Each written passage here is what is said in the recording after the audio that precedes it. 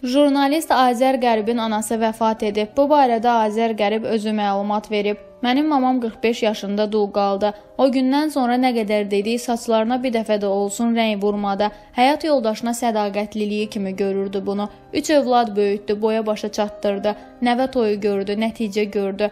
Son illər səfərlərimi elə salırdım ki, yeni il gecəsi Bakıda olum. Ya bu günə qədər gedib qayıdırdım, yaxud yanvarın əvvəlində düşürdüm yola. Çünki yeni il gecəsini anamın yanında olurdum. Bu yeni il gecəsini də anamın yanında oldum. Amma artıq mərhum anamın yanında. Bu gün isə onu son istəyinə görə Qəbələdə, atamızın yanında torpağa tapşırdıq. Allah bütün gedənlərə rəhmət eləsin. Pandemiya ilə əlaqədar yas mərasimi keçirmirik deyə jurnalist qeyd edib.